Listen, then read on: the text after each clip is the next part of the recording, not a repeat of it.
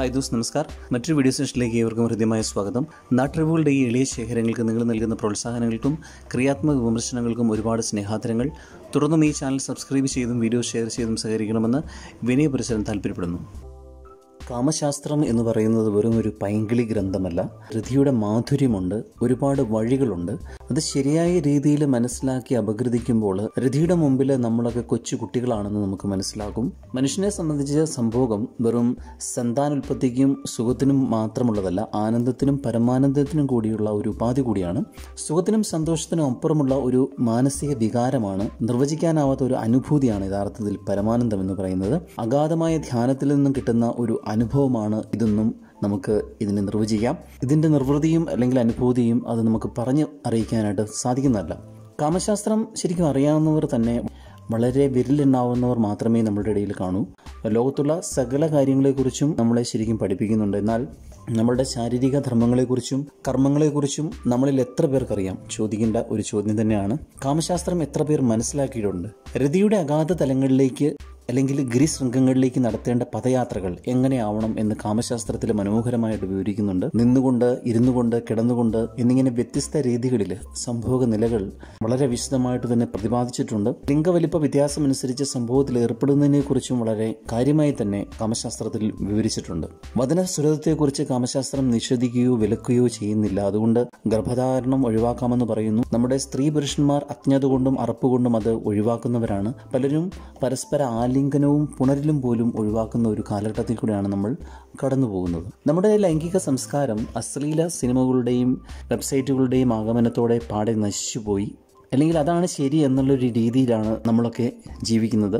ഉടുതുണി ഉരിയുക പലരും ഉരാറു പോലുമില്ല. ചെറിയൊരു വഴിയുണ്ടാക്കി നേരെ ഭിത്തിയിൽ ആണിയടിക്കുന്ന പോലൊരു പ്രയോഗം. അല്ലെങ്കിൽ ഒരു യുദ്ധം പ്രഖ്യാപിച്ചതുപോലെ ഇണയെ എങ്ങനെയെങ്കിലും കീഴ്പ്പെടുത്തുക എന്നൊരു മനോഭാവം. അതൊരു ലൈംഗിക വീഴ്ചയായിട്ടോ മറ്റോ കാണാൻ പറ്റ സാധിക്കില്ല. തീർച്ചയായിട്ടും അതൊരു ബലാത്കാരം തന്നെയാണ്. സുദീർഘമായ മൈഥുനങ്ങളിൽ ഏർപ്പെടണമെന്നുള്ള അടിസ്ഥാന തത്വം പോലും പലർക്കും അറിയില്ല. ദീർഘനേരം മൈഥുനത്തിൽ ഏർപ്പെടുമ്പോൾ ശരീരം ചൂടാകും. ശരീരം ചൂടാകുമ്പോൾ ശുക്ലം അതിന്റെ തനി പ്രകൃതി വിട്ട് കൂടുതൽ ഊർജം ഉൾക്കൊള്ളുന്നു. രതിമൂർച്ച സമയത്ത് ഈ ശുക്ലത്തിന് തന്റെ സ്വന്തം ശരീരത്തിനും ഇണയുടെ ശരീരത്തിലും ചില ഊർജ മാറ്റങ്ങൾ വരുത്തുവാനാകും എന്നുള്ളതാണ് സത്യം. മനുഷ്യ ശരീരത്തിന് പോസിറ്റീവ് എനർജി പ്രദാനം ചെയ്യുന്ന ഒന്നാണിത്. ശരിയായ രീതിയിൽ മാനസിക നിയന്ത്രണമുള്ള പുരുഷന് രതിമൂർച്ച സംഭവിക്കാൻ പോകുന്ന സമയത്ത് തന്റെ ലിംഗം മാറ്റാൻ കഴിയും. ഇങ്ങനെ സ്ഖലനം സംഭവിക്കാതെ മൈഥുനം എത്ര സമയം വേണമെങ്കിലും നീട്ടാനും സാധിക്കും. അപ്പോൾ രതിമൂർച്ചയിലേക്കുള്ള ദൂരം ഇപ്രകാരം ക്രമീകരിക്കാൻ തീർച്ചയായിട്ടും മാനസിക നിയന്ത്രണമുള്ള അല്ലെങ്കിൽ യോഗ നിയന്ത്രണമുള്ള ഒരു പുരുഷനെ കൊണ്ട് തീർച്ചയായിട്ടും സാധിക്കുന്നതാണ്.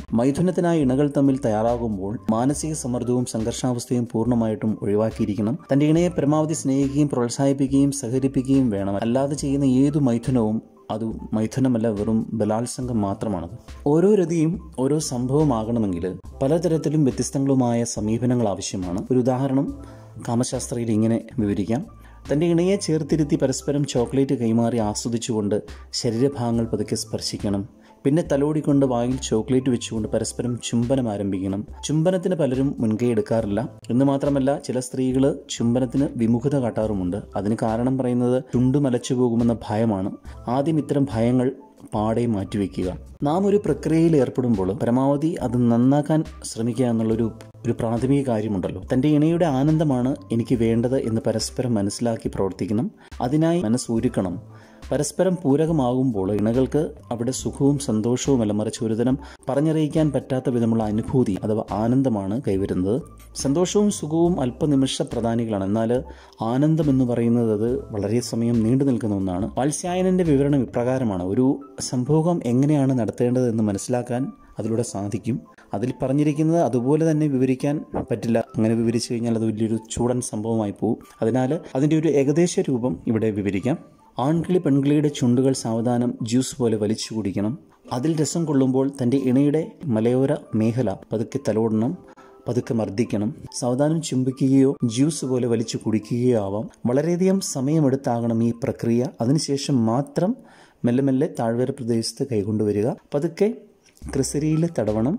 ഈ സമയം അത്രയും സ്ത്രീ ഒരു മരക്കഷ്ണമായാണ് അധികവും. എന്നാൽ കാമലോലുപയായ ഒരു സ്ത്രീ തന്റെ പുരുഷന്റെ ശരീരത്തിലും ഇത്തരണത്തിൽ കലാപരിപാടികൾ നടത്തുക തന്നെ വേണം. സ്ത്രീ വികാരവതിയായി കഴിയുമ്പോൾ യോനി മദനജലം കൊണ്ട് വഴുവഴുപ്പുള്ളതാകും. അതിനുശേഷം മാത്രമേ പുരുഷൻ തന്റെ വിരലുകൾ ഉള്ളിലേക്ക് കടത്താവൂ. അല്ലെങ്കിൽ യോനിയിൽ ഒരുതരം അസ്വസ്ഥതയും വേദനയും അവർക്കുണ്ടാക്കും. പതനസുരതം ഇണകൾ ഒഴിവാക്കേണ്ട ഒരു കാര്യമല്ല എന്നാണ് കാമശാസ്ത്രവും തന്ത്രയും പറയുന്നത്. പുരുഷൻ സ്ത്രീയുടെ ക്രിസരിയെ ചുണ്ടുപോലെയാണ് കാണേണ്ടത്. അതുപോലെ സ്ത്രീ പുരുഷാവയവത്തെയും ചുണ്ടിൽ എന്തൊക്കെ ചെയ്യാൻ പറ്റുമോ അതൊക്കെ അവിടെയും ആകാമെന്നാണ് കാമശാസ്ത്രയിൽ വിവരിക്കുന്നത്. പല സ്ത്രീകളും തന്റെ സ്വന്തം ശരീരത്തിലെ ഈ അവയവത്തെ ജനനേന്ദ്രിയത്തെ അറപ്പോടും വെറുപ്പോടും കൂടിയാണ് കാണുന്നത്. നമുക്ക് ജന്മം നൽകിയ അതിന് കാരണമായ ഈ അവയവത്തെ നമുക്ക് ജന്മം നൽകിയ അതിന് കാരണമായ ഈ അവയവത്തെ അങ്ങനെ കാണേണ്ട ഒരു കാര്യമില്ല.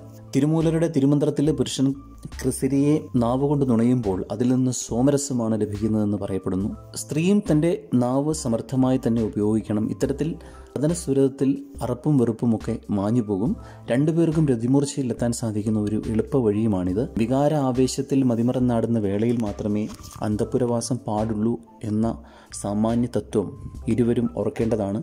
രതിമൂർച്ച സമയത്ത് പുരുഷന് വെളുത്ത ശുക്ലം സ്കലിക്കുന്നത് പോലെയുള്ള അനുഭവം ഉണ്ടാകും. എന്നാൽ സ്ത്രീകളിൽ തത്തുല്യമായൊരു പ്രക്രിയ നടക്കുന്നില്ല. പലർക്കും അറിയില്ലാത്തൊരു സംഗതിയാണത്. കാമസൂത്രയിൽ എട്ട് തരം ലിംഗവചന സുരാദികളെ കുറിച്ച് പറയുന്നുണ്ട്. ജീവിതത്തിൽ ഒരിക്കലെങ്കിലും വായിക്കേണ്ട ഒരു മഹത് ഗ്രന്ഥമായിട്ടാണ് കാമസൂത്ര യഥാർത്ഥത്തിൽ കാണേണ്ടത്. കാമസൂത്ര വായിച്ചു കഴിഞ്ഞാൽ നമുക്ക് മനസ്സിലാകും ലൈംഗികതയിൽ നമ്മളൊക്കെ എത്ര ശൈശവം വിട്ടിട്ടില്ല എന്നുള്ള കാര്യം. ഇതിൽ നിന്നും ഒരു സംഭോഗം എങ്ങനെയാണ് നടക്കേണ്ടത് എന്ന പ്രാഥമിക തത്വമാണ് അവതരിപ്പിക്കാൻ ശ്രമിച്ചത്. വെറുതെ നമ്മൾ ഫിലിമിലും അല്ലെങ്കിൽ വെബ്സൈറ്റിലുമൊക്കെ കാണുന്ന പോലെയോ രീതിയിലല്ല ഇതിനെ നമ്മൾ സമീപിക്കേണ്ടത്. അപ്പോൾ അതിനായിട്ട് ശരിക്കുള്ള ഒരു ലൈംഗിക സംസ്കാരം വളർത്തിയെടുക്കുക എന്നുള്ളത് വളരെ അത്യാവശ്യം തന്നെയാണ്. മാധ്യമങ്ങളിലെ വാർത്തകളും മറ്റും കേട്ടുകൊണ്ട് ഇന്ന് സമൂഹം എന്ത് ചെയ്യണമെന്നറിയാതെ തരിച്ചു നിൽക്കുന്ന ഒരു അവസ്ഥയുണ്ട്. അതായത് ദിനംപ്രതി കൂടുന്ന ബലാത്സംഗങ്ങൾ സ്ത്രീകളെ സംബന്ധിച്ച് സുരക്ഷിതരായിട്ട് വഴിയിൽ ഇറങ്ങി നടക്കാൻ പറ്റാത്ത ഒരു അവസ്ഥ ലൈംഗിക അജ്ഞതയിൽ നിന്നും ലൈംഗിക അസംതൃപ്തിയിൽ നിന്നും ഉടലെടുക്കുന്ന വികാരാവേശ പ്രകടനത്തിന്റെ അനന്തര ഫലങ്ങളാണ് യഥാർത്ഥത്തിൽ ബലാത്സംഗങ്ങളും മറ്റും. ശരിയായ രീതിയിലുള്ള ലൈംഗിക വിദ്യാഭ്യാസവും അറിവും സമൂഹത്തിൽ എല്ലാവരിലേക്കും എത്തിക്കുക എന്നത് വളരെ അത്യാവശ്യം വേണ്ട ഒരു ഘടകം തന്നെയാണ്. അപ്പോൾ ഈ സെഷൻ ഏവർക്കും ഉപകാരപ്പെടട്ടെ എന്ന് ആഗ്രഹിക്കുന്നു. ദയവായി അഭിപ്രായങ്ങൾ വിമർശനങ്ങൾ തുറന്നെഴുതുക. ഈ ചാനൽ സബ്സ്ക്രൈബ് ചെയ്യുകയും ഷെയർ ചെയ്യുകയും ചെയ്യണമെന്ന് വിനയപൂർവം താല്പര്യപ്പെടുന്നു. ഒപ്പം ബെൽ ബട്ടൺ ഇനേബിൾ ചെയ്തു കഴിഞ്ഞാൽ പുതിയ സെഷനുകളുടെ നോട്ടിഫിക്കേഷൻ നിങ്ങളിലേക്ക് എത്തിക്കാനും സാധിക്കും. അടുത്ത വീഡിയോയിലേക്കും. ശുക്രിയ. ഫിർമിലെങ്കി. പായ്